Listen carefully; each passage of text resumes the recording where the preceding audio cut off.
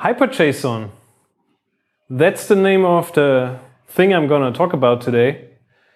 And uh, before we start, I would like to mention Pascal, who came up with a, an alternative project name for it. He wanted to call it HydroJSON. well, if you don't get this reference, then you're probably too old. But um, this is Pascal's project. So it's not my project. My project is called HyperJSON. And before we even continue, I want to tell you that I want to lower your expectations a bit. So probably what you're expecting is this, but I will, what I will deliver is this. Because this is a meetup talk. This is not a conference talk. I don't get paid for it. I didn't have time to prepare much. You will see later on uh, when the slides get less and less and less attention and uh, the formatting breaks apart and then everything goes, goes to hell. So uh, be warned if you have something better to do, then uh, yeah, probably that's a good, good time. HyperJSON. I'm Matthias. I work in Düsseldorf. I come from Bavaria. I do Rust since 2015. Um, I've been involved in many projects, but uh, yeah, not too many you might know of. Probably, maybe, uh, if at all, then Hello Rust, which is a YouTube channel about the Rust programming language. And from time to time, I make weird experiments with uh, Rust and I try my best to come up with something that nobody is ever trying to use and just to have some fun. And this is one of those projects. It's definitely a moonshot project and not something that you should take totally serious, but I'm looking for contributors, so feel free. It's a Python module for encoding and decoding JSON. Now, I already saw a lot of uh, your faces uh, going like this, uh, where, you, where you're like, why even write an encoder? Why another JSON library? Just don't do it.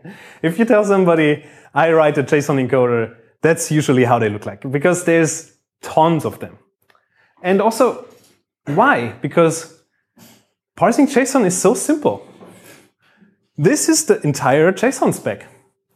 That is all you need to implement your own encoder and decoder. I mean, how hard can this be?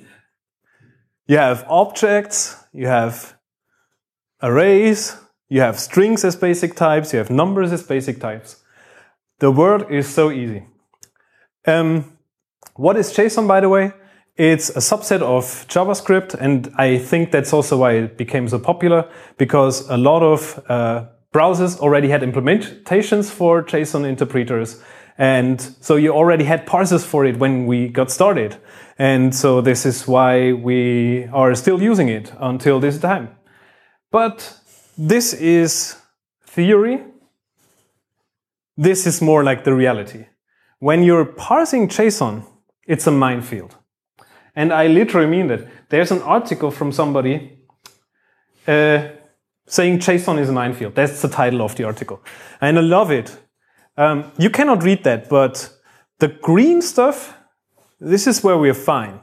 The rest, not so much. The blue stuff is undefined behavior.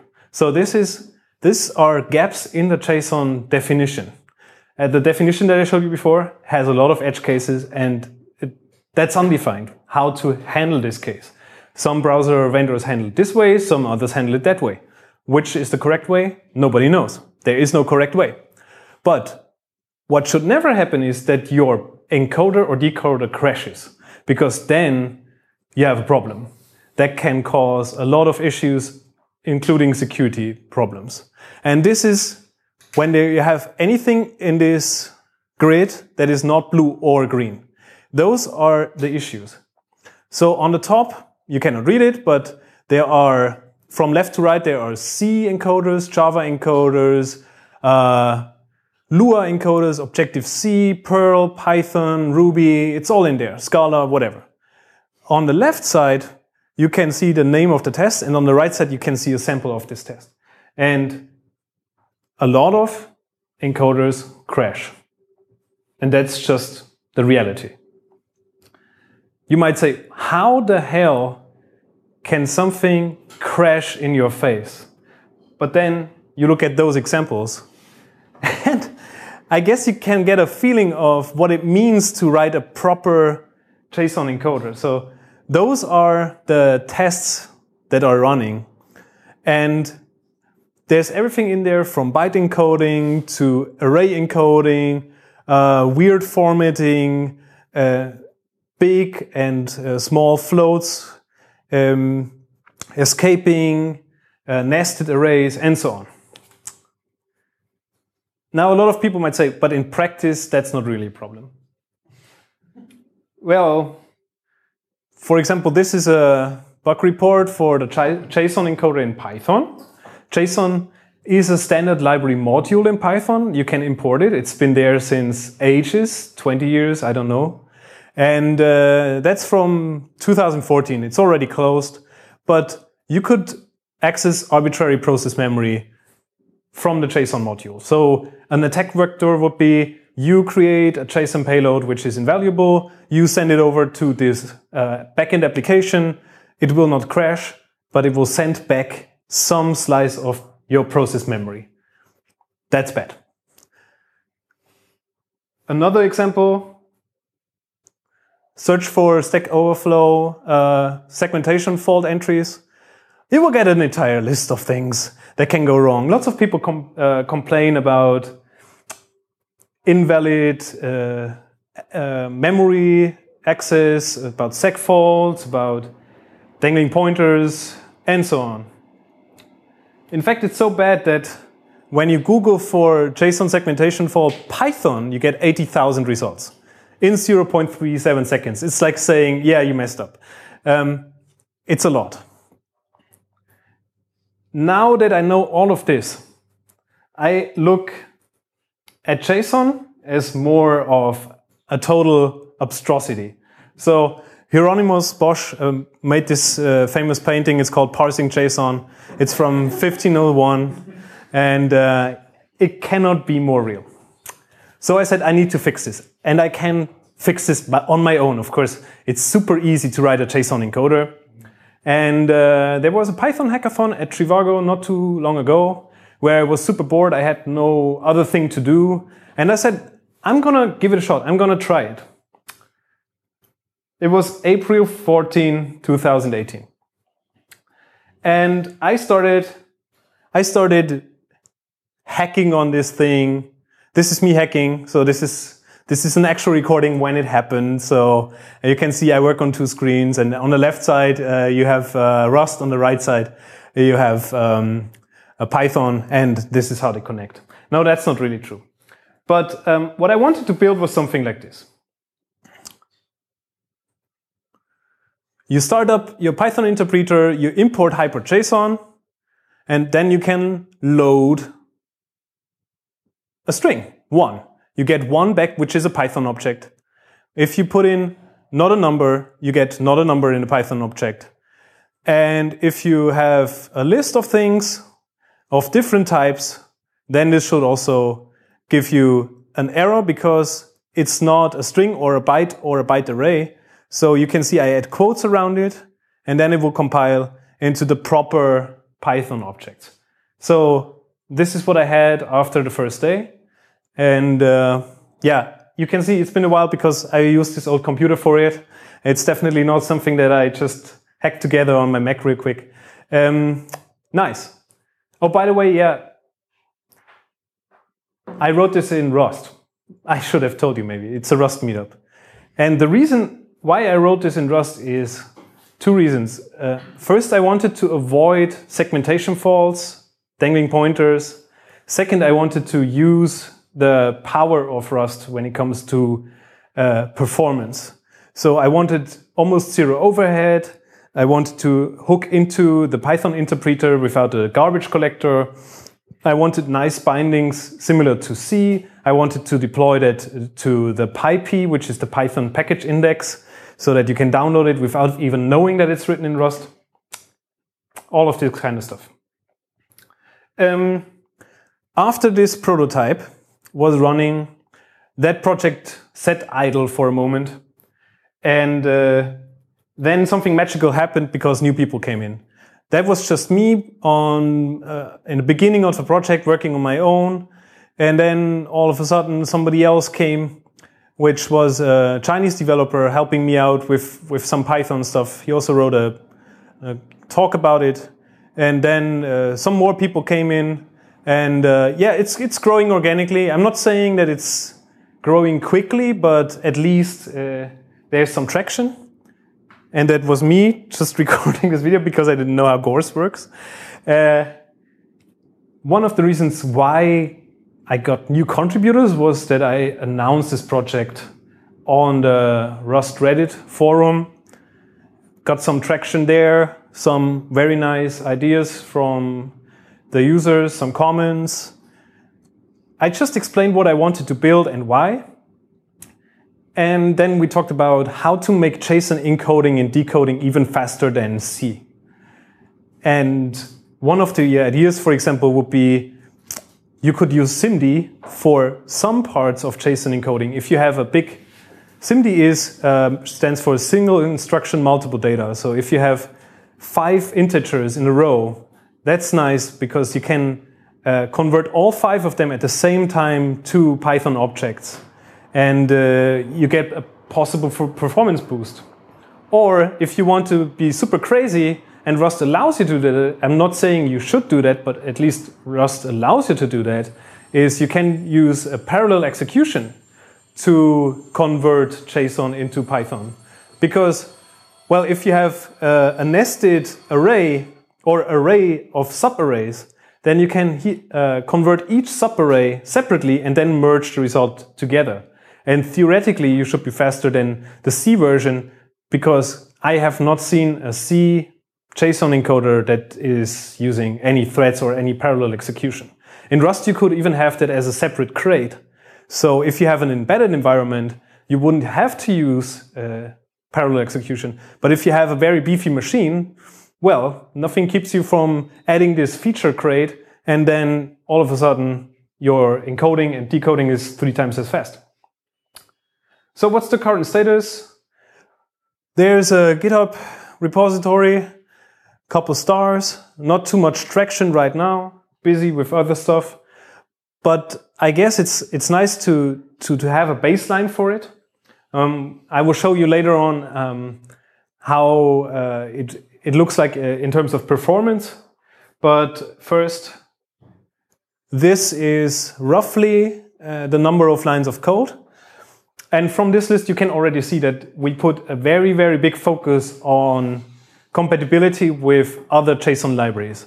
So HyperJSON now supports all methods that JSON also supports in Python 3.6 and uh, before.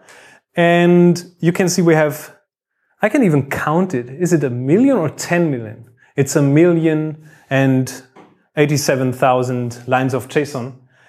And uh, all of this is possible with roughly 500 lines of Rust. So you might be surprised. You might be saying, wait, you wrote this encoder yourself in 500 lines and it's it should be safer than the other ones? Well, no, of course not. Uh, I'm using Serde for uh, conversion. So it's just a th thin wrapper around Serde. And the wrapper itself is also not written by me. It's PyO3, which is a library for converting Python types to Rust types. So all of this cannot be simpler from my, my side. But I like that you can combine those two and have something magical. So imagine doing the same thing in C. You don't have a package manager, so you have to kind of have a Git submodule for the Serde, for the serialization part, and then you have a Git submodule for the Python conversion part. So that would be a total ball of mud, unmaintainable. In, in Rust, Super easy. You have a cargo toml, you add those two things, you're done.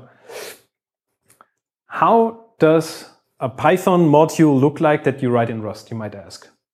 Well, I was thinking about showing you the entirety of the HyperJSON uh, source code, but probably you would not learn much because it's a bit overwhelming if, uh, if you want to learn all this while I scroll by.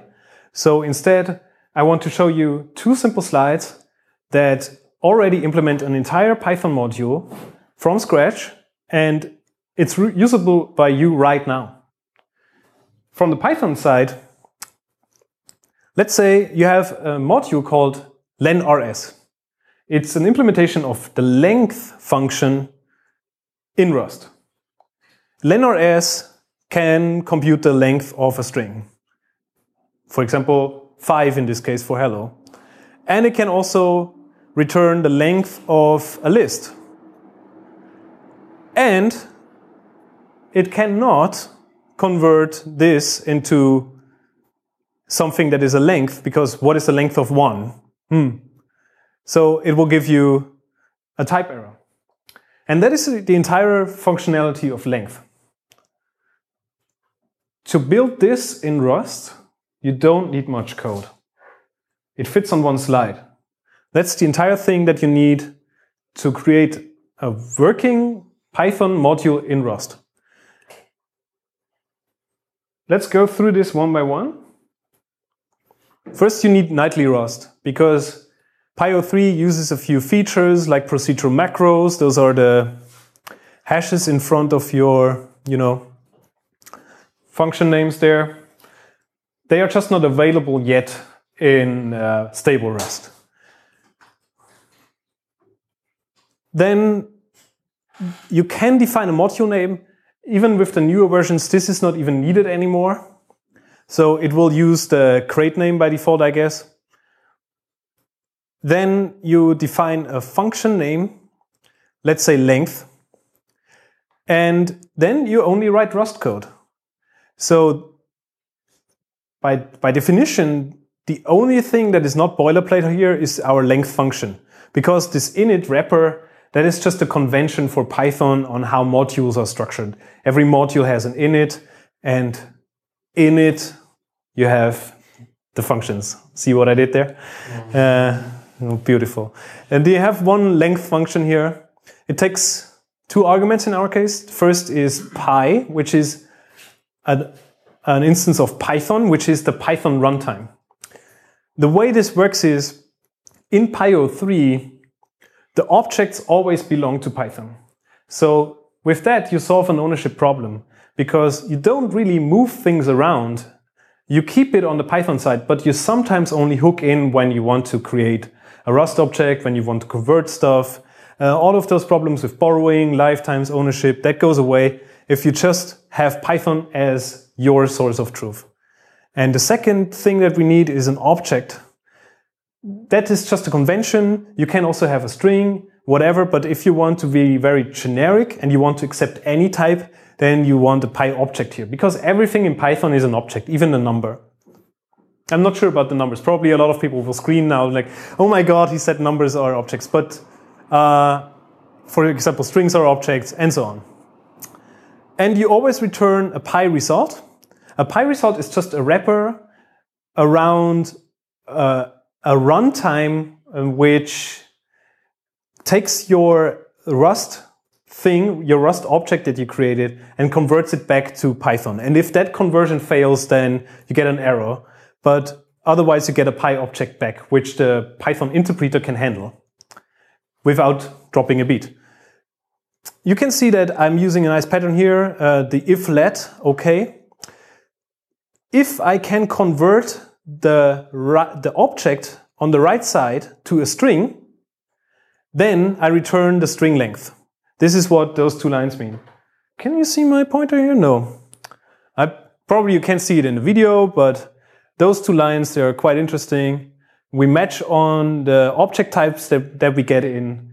And if, it, if we can extract the string from it, then we return the string length.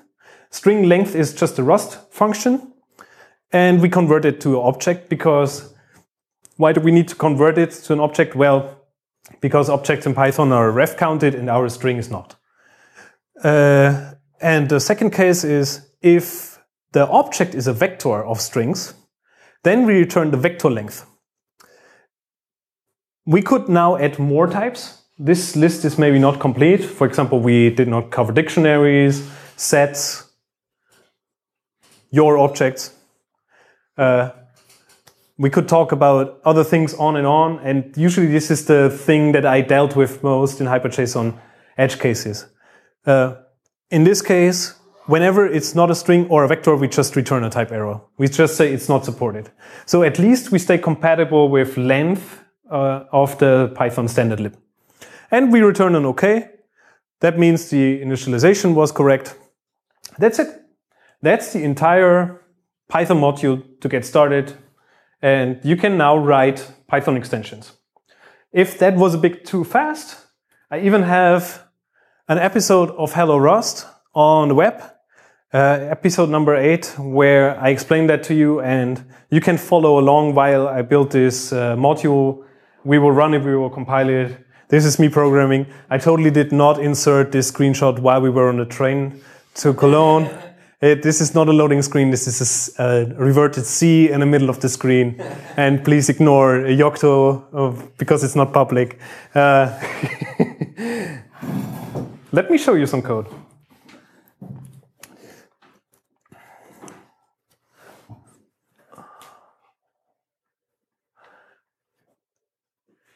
First off, this is some performance data.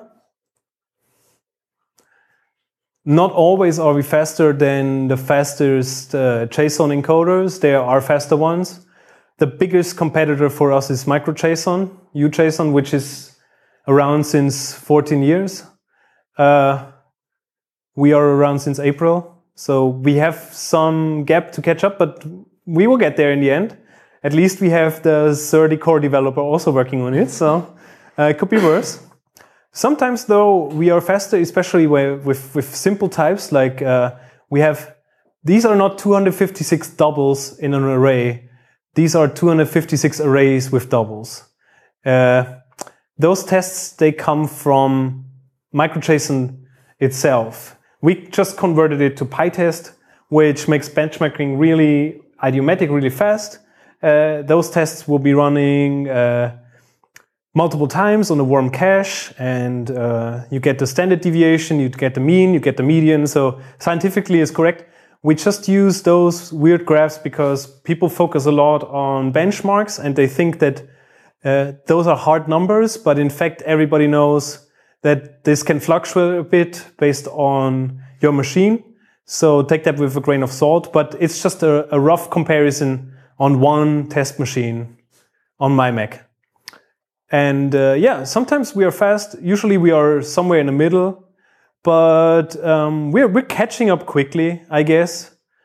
Uh, give it a, a, few more months and then uh, let's see what happens. Famous last words. Uh, before I leave you, let me give you a quick overview of the code. Shall I make that uh, black or white? Is it readable? I uh, keep it this way. Can also maybe. Uh, I will. I will use a. Oh no. I will use a white theme. Ah, that's better, huh? I don't care. Um, yeah, um, most of the things you've already seen. PyO3, I'm using Serde for the JSON conversion, as I told you. Then we're using nightly Rust. You can see that from the features that we need to use here. We are using failures for failures. And then we convert that to Python types which is quite nice because you get the best of both worlds. Uh, error handling is very nice in this case. Uh, yeah. Here's the code. Here are all the implementations of the functions. So here's the load implementation, which just forwards it to loads fn. Uh, we'll get to that. Here, here it is. And that was extracted to loads impl because we also do benchmarking on that and profiling to find bottlenecks and, and improve the speed. Yeah, but uh, the, the basic implementation is this. You try to match on different types uh, in Rust. You say, uh, extract a string from it. If we can uh, extract a string, then deserialize it. Um, to a Python object, otherwise convert some special floats. For example, Python knows not a number or minus infinite and plus infinite, which is definitely not in the JSON standard, but uh, Python in their heavily um, intuition, they decided that it's a good idea to extend the standard a bit. And otherwise we return a value error like the normal standard lib uh, module. Then we uh, convert byte arrays. That's for UTF-8 support. Um, yeah, some macros for, for conversion, but it's more or less the same thing. We always use extract and we match on the result. And if so, then we serialize with serde. Uh, not much else to show. Some tests. Yeah, I guess we can run it once. I was wise enough to um, increase the screen size. So if you run make install, it will download all the dependencies from pip to uh, create the bindings, uh, like um, setup uh, Rust, uh, Rust setup. What is it called? Setup Rust, Rust setup, something like this. Is it called? Rust something something. Uh, and uh, yeah, then we can use it. So we use our Python interpreter. Is that still readable? Yeah, I hope so. Import hyper JSON, hyper as. We say one, and you get a one back. And uh, yeah, all the other functions you can read in the spec. There is an entire documentation page about it where we also take our unit tests from. We have, we have plenty of tests. I'm not sure if all of them run. Probably this will be, yeah. You can see uh, that it's testing all the things. We have a few skip tests, which are known issues, but we're working on them. I'm not saying that we are free of segmentation faults, but at least we aim very, very hard to, to make that possible. Um, apart from that, that's uh, it for my talk. Thank you very much for listening.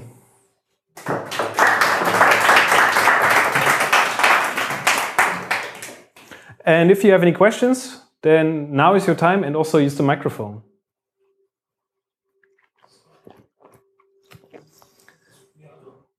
There's a question. Kai. Kai didn't have any questions. It's the awkward moment when nobody has questions, but we just wait for a question to arise.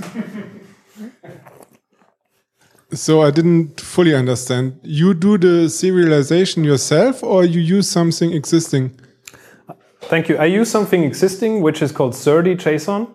It's a JSON library for Rust. It's in a crate and it is one of the fastest around. So in any implementation, any language, uh, and this is also the beauty of it. This is what inspired me to use it because it's just so freaking fast. And just to piggyback on that, I wrote this small wrapper around it. So, so the pipe is um, that you first uh, pass JSON to a Rust internal data structure and then run over it to create Python, or do you do, do this uh, Python creation on the fly? Yeah, more or less it's the the first. So serde will convert it to whatever it should convert to. It can convert to many, many different outputs. So it can take JSON and convert it to, yeah, Python, for example, which in this case, I more or less wrote this wrapper for. But um, yeah, internally, serde is of course written in Rust, so you get some, uh, you get at least some some Rust glue code in between, but the the output in the end is Python, and most of the things that serde are doing are yeah just just converting on the, the byte level, so it's not really a big overhead.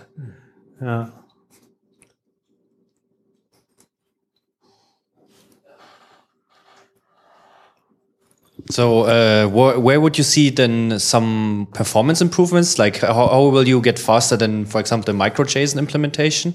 Will you like talk to the serde JSON people and make them maybe aware of some kind of performance problems they could have, or where where is the performance critical point or the bottleneck right now? Is it like the, the conversion to the Python object, or like the glue code in between, or Yeah, a lot of it uh, just comes from the complexity of the Python uh, interpreter. Uh, one of the bigger things is UTF-8 support right now.